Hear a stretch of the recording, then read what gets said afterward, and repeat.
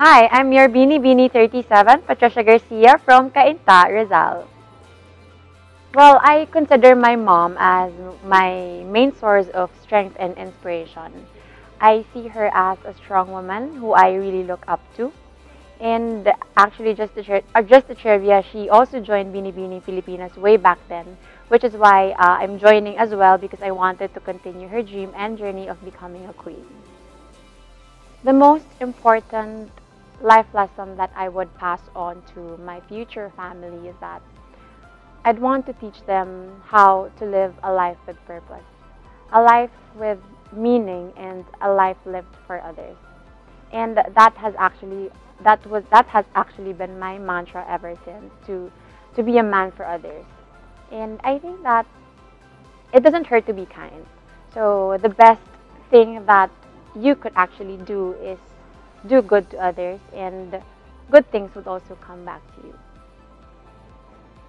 It's actually my second time in joining a pageant. Uh, my first pageant was two years ago and what I learned about that experience is you should always put all your effort and 100% determination in everything you do for you to succeed.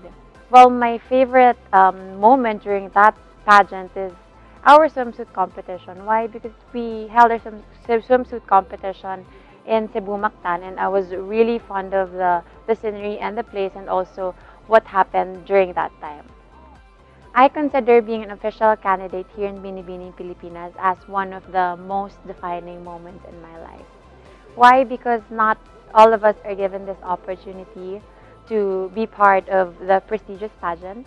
And aside from being able or be getting the chance to actually represent the country internationally, the pageant itself gives you an opportunity to fulfill your advocacies. And for my advocacy, I would actually want to focus on the social welfare of children with special needs.